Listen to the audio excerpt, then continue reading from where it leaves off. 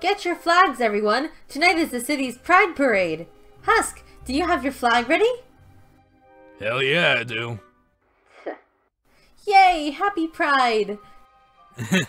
Thanks. Hey, Alastor, are you gonna celebrate Pride with us? ha, no. Pride was never any sin of mine, dear. Besides, I don't have a flag. That's alright. You can still come to the parade as our straight ally.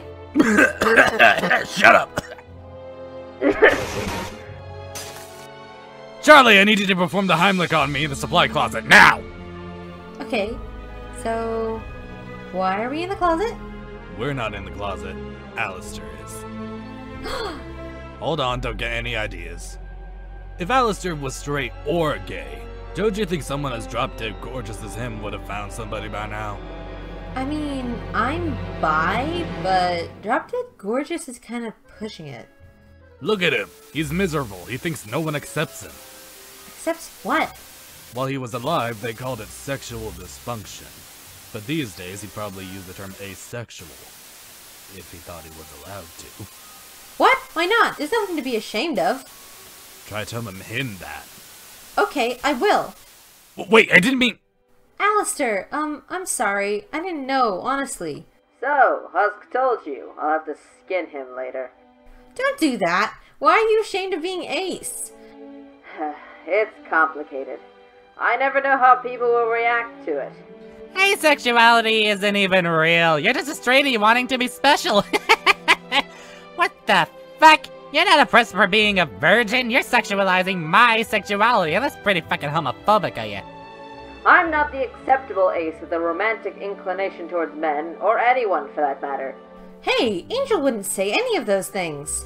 Maybe not, but you have far too much faith in demons, my dear. If there's one thing I've learned, rainbows just aren't for everyone. But...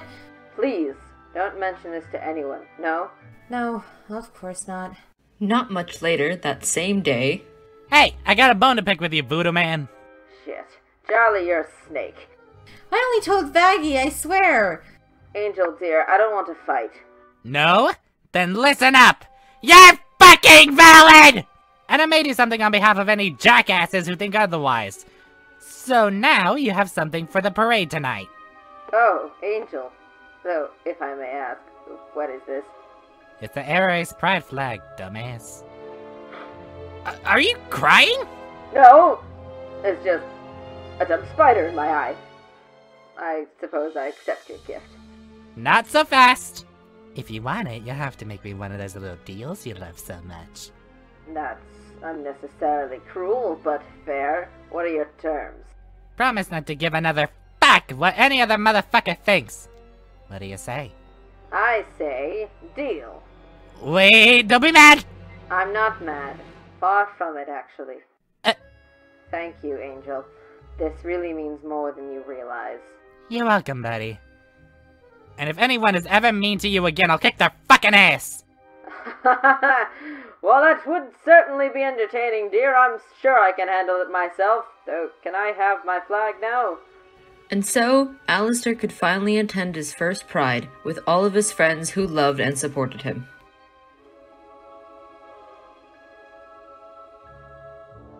Thanks for watching. If you enjoyed, hit that like button, subscribe, and press that notification bell to know exactly when I upload. If you want to support me directly, feel free to visit the Ko-fi link in the description below. See you all next time!